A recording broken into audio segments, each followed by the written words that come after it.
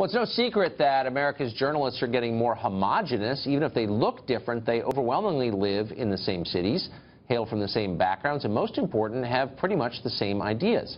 Recently, White House Correspondents Association Jeff Mason of Reuters told us that journalists are still capable of covering the news fairly. Watch. The people standing in the briefing room who are telling us on camera, I'm just here to report the facts. And then you read their Twitter feed, and they're like, basically, I hate Trump and this is a fascist takeover of the country. I mean, they are out in the open liberal, and I would an, think. you have a as, specific example? Well, we've done like 15 shows on this. Well, no outlet better embodies how journalism has changed in the past 20 years than clickbait kingpin BuzzFeed.com, one of the most valuable news outlets in the world. Are they part of the new news bubble? Who better to ask than the editor-in-chief of BuzzFeed, Ben Smith. He joins us tonight. Hey, Ben, thanks for coming on. Thanks for having me, Tucker. Congrats on the show, the book, the memification.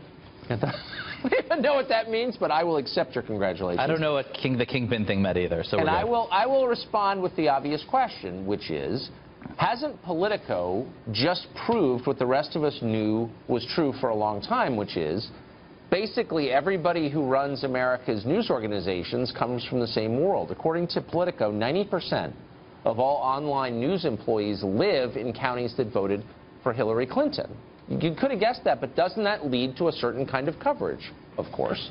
I mean, I think what he showed was the kind of tragedy that you've seen over the last 20 years of the collapse of these great news organizations all across the country. Right. You know, big, big, big regional papers, you know, in Cleveland and Chicago. I mean, I think, you know, we certainly, I think our staff's more diverse than it's ever been, but we think about, you know, regional diversity too. I think that matters. We just hired a great political reporter in Cleveland, Henry Gomez, partly because I think it is important to kind of have people outside the Beltway, outside New York.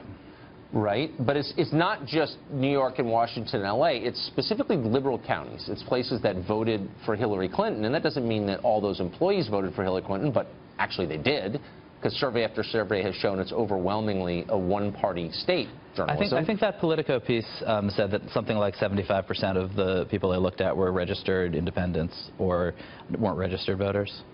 Right but registration not necessarily a marker for anything. I mean, another way to look at it would be the White House press corps has precisely, according to Politico as well, zero registered Republicans in it. Now, maybe, you know, there are some Republicans floating around there, who knows, but it's still a much smaller number, I think it's safe to say, than the country at large. And so it doesn't actually represent the country it covers. Oh. And why is that not a problem? I mean, I think, you know, I mean, I think in a way the deeper problem, I mean, it pulls from people like us, you know, educated people who live in cities who wanted to go into journalism as well. Like there's a lot of, a lot of different ways that it's a homogenous group. I think the best you can do is, is, is try to be fair in your coverage and look at the coverage, not look at the, I mean, but I, but I think it was a great piece by Jack, totally reasonable thing to observe. No, but, but hold on, but you wouldn't say, and it's not exactly the same thing, but you wouldn't ever say something like that about racial or ethnic diversity. You wouldn't say, well, my newsroom is 100% middle-aged white men, but we're going to, we're going to kind of do our best to understand perspectives different from ours. You'd say, no way, man. Get me HR on the line. We're going to diversify this newsroom. Why not do that with ideology? Well, I'm not so regional in ideology exact same thing, but I actually, I mean, I think, I think, conservatives make good. I've always looked for conservative political reporters. We uh, we stole our political editor from the the great Washington Free Beacon. I actually think that's, I think ideological. I I don't disagree with you on ideological diversity at all.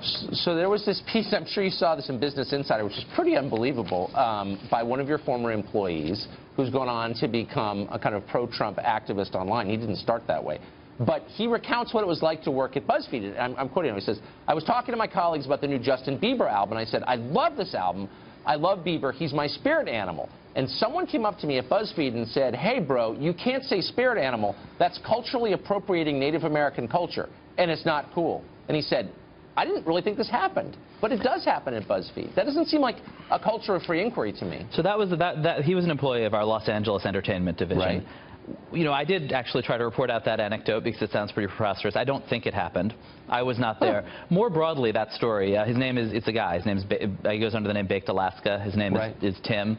I mean, I don't think he was not somebody who was I think, persecuted for his conservative beliefs. This is somebody who, who I think obviously did not have a great experience at BuzzFeed. Left BuzzFeed, for a while hung out in the sort of pro-Trump movement and then started tweeting about how Jews control the media and got tossed out of the pro-Trump movement.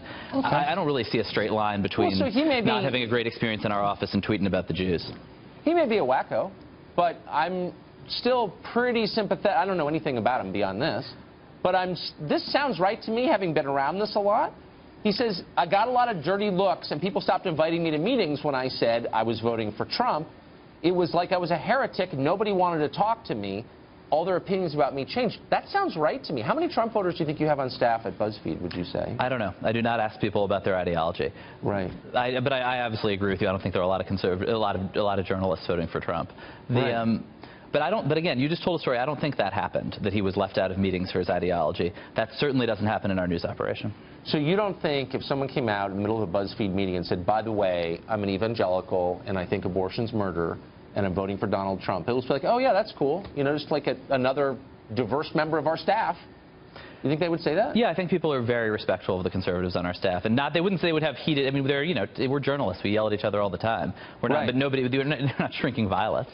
No, no, of course. But I mean, I mean, let's it's be fine, totally right? real. If you said, I'm going this afternoon to get my concealed carry permit, and then on Saturday, I'm going to go protest at Planned Parenthood because I think Jesus wants me to, you really think people wouldn't say, maybe out loud, certainly to themselves, this guy's a freak, and I don't want him here? I mean, maybe the question that. is whether I'm going to be shunned for going on your show. I think I'll be all right.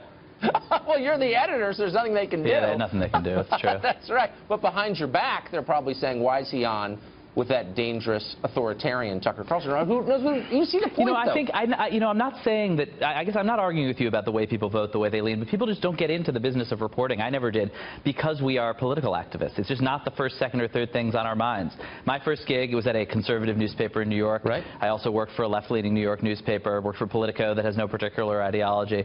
But you know, I came into this because I wanted to report, to find stuff out, to tell stories. I think that's true of most reporters. And I think I believe that. political activists who who, in good faith, accuse journalists of being activists are basically projecting. They say, I'm primarily motivated by politics. These journalists must also be. I just don't think that's not the newsroom conversation. And I don't think any of these newsroomers, they're not most of Well, them. I, I think there's some exceptions, but you're, I think you're generally right. The problem, as you know, is the problem that pro-diversity activists always point to, and that's in unconscious bias, in taking your assumptions with you and not examining them, and that's why employers, and particularly you, spend so much time trying to, quote, diversify the way your newsroom looks.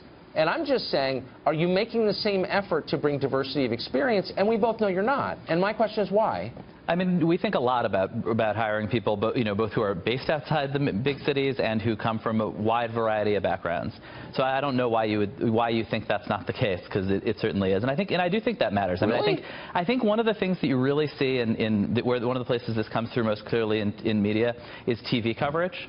You know, the, the show, the HBO shows that get all the coverage in the New York Times and in a lot of the media are just not, are not necessarily you know the shows that are widely viewed, which might be CSI, and I think like that's a place where we, you know, in a, kind of broad sense, think about trying to make sure we're writing about the, the show, the Oh. the culture that people that people pay that real people are paying attention to. But But for sure, I think like most journalists are college educated. I think most journalists, Okay, you know, had a certain but- set of like a set of experiences that have leave them with huge blind spots. But, but la- last question, have you ever heard anybody at BuzzFeed say, you know what, I just think abortion's murder and I don't think it should be legal?